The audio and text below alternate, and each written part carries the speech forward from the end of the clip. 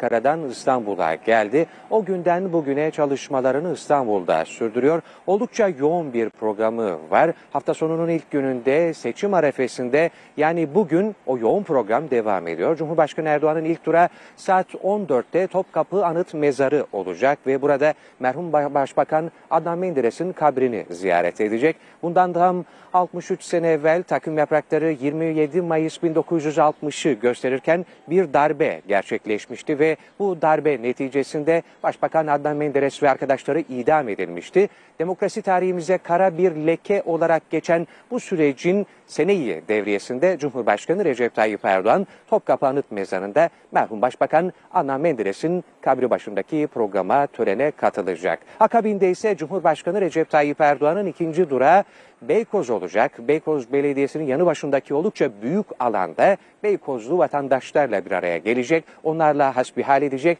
ve onlara yönelik bir hitabı söz konusu olacak. Sabah saatlerinde Cumhurbaşkanı Recep Tayyip Erdoğan sosyal medya hesabından oldukça önemli bir mesaj paylaştı ve bir çağrıda bulundu. Sensiz olmaz vurgusuyla önemli bir çağrıda bulundu ve milletimin her bir ferdine sesleniyorum. Sensiz olmaz ifadesini kullandı. Yarın Büyük Türkiye zaferi için hep beraber sandığa gidelim çağrısını yineledi. 14 Mayıs'ta tecelli eden iradeyi daha güçlü, daha büyük, daha iri bir şekilde Cumhurbaşkanlığı seçiminde de ortaya koyalım çağrısında bulundu. Cumhurbaşkanı Recep Tayyip Erdoğan oylarımızla Türkiye yüzyılını yeniden başlatalım ifadesini kullandı sosyal medya hesabında yapmış olduğu paylaşımda. Cumhurbaşkanı Recep Tayyip Erdoğan'ın dün oldukça yoğun bir programı vardı. Dört farklı programa katıldı ve bu programlar kapsamında hitapları söz konusu oldu. Son programında bir televizyon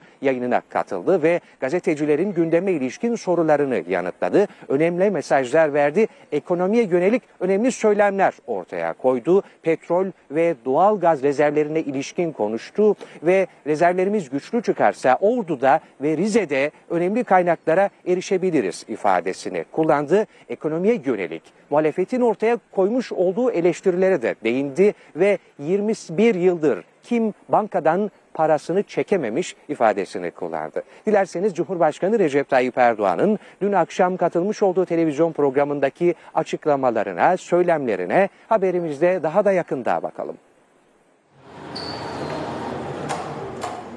21 yılda kim bankadan parasını çekemedi? Bana söyler misiniz? Ben böyle bir şey bugüne kadar duymadım. Muhalefete bu